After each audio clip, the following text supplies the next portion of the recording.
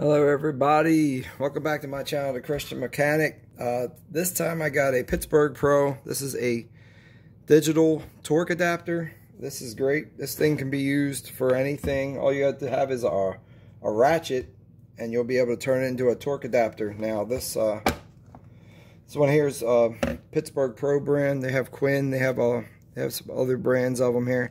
But it does come with instructions. Um, and it comes with the piece itself. Now it does, uh, it's for a, a, half inch drive, but I, I guess you could use um, adapters to go in there, but I would just stick with the half, half inch drive because then you could mess up your, uh, if you're torquing something down because then you probably would have to do conversions, but it does come with uh, two reducers that you can put on the end here. This is half inch to 3 eighths and then a half inch to a uh, quarter inch.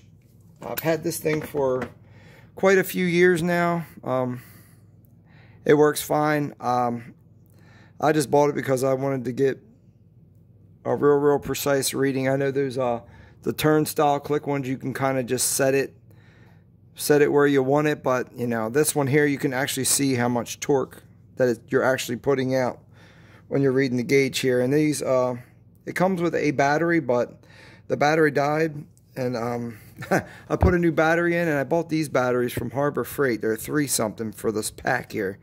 And I basically did one calibration with it and it was already flashing with the low battery. So I had to put a new battery in it already. It's only a, not even a day old. So I'm to do a new, new, battery in here. I'll go over with you with it. We'll just uh, read through it, instructions. But these are uh, CR20 and 32 uh, batteries. They're 3 volt batteries. And then we'll just take a little quick look at the instructions here. Now this one here says record product serial number here and there is a sticker on here with a serial number. So these do come with a serial number um, right here. This is the serial number for mine. The only number that I could find on here is a laser etched number that's right on this piece here and it's 37048151 but I'm not sure what that's for. Uh, only other writing is right here on the side of it here. It says digital torque adapter. It has the model number 68238 or 68283. And it says square drive half inch and it has your ranges. It says from 29 and a half to 147 and a half foot pounds or 40 to 200 newton meters. And it says hand use only. So you're not supposed to put this on any kind of impact or, rat, or you know, mechan- uh, battery operated tool.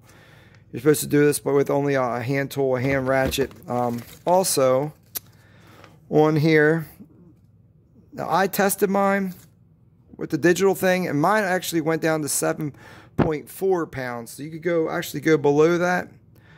Um, we got that on here. It says auto shutdown after 80 seconds, stores up to 50 torque readings. It says accuracy plus or minus 2%. Talks about the adapters. It says servicing. It says just basically to keep it clean. Don't put nothing on the plastic material because it could destroy it. Um, so we're going to go ahead and I'm just going to set it just for uh, 10 pounds. And we'll just... Uh, just see what it does. And you hold the button down, it goes faster. Or you can just click it one at a time. I mean, that's as fast as it'll go right there. So we'll set it on 10 pounds.